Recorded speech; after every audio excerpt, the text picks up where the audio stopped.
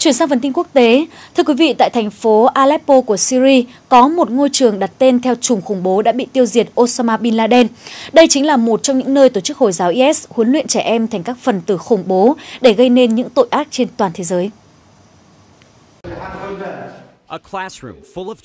Với những cư dân của Aleppo, những người sống trong cảnh khốn cùng do mắc kẹt trong cuộc chiến kéo dài giữa quân chính phủ và các phần tử chống đối như tổ chức Hồi giáo IS, khái niệm về trường học giờ đây đã mang một sắc thái hoàn toàn khác.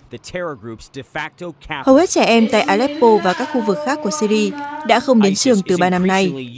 Nhưng rồi, những ngôi trường như Osama Bin Laden xuất hiện vốn thực chất chỉ là một trại huấn luyện các phần tử thánh chiến, nơi trẻ em học cách để chặt đầu người khác và đánh bom liều chết. Các thông tin cho thấy IS đã đưa hàng trăm bé trai từ các trại huấn luyện quân sự và tôn giáo khác nhau tại Syria và Iraq, tùy theo độ tuổi của các em. Những đứa trẻ hồn nhiên bị tiêm nhiễm tư tưởng thánh chiến và huấn luyện sử dụng vũ khí từ rất sớm.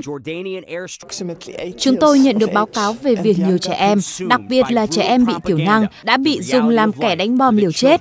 Nhiều em thậm chí không hiểu việc mình làm là gì. IS bắt đầu trỗi dậy ở Iraq vào đầu tháng 6 năm ngoái bằng vũ khí hạng nặng và sự tàn bạo khác thường. Nhóm này đã nhanh chóng giành quyền kiểm soát thành phố Mosul, sau đó tấn công nhiều khu vực khác của Iraq và Syria.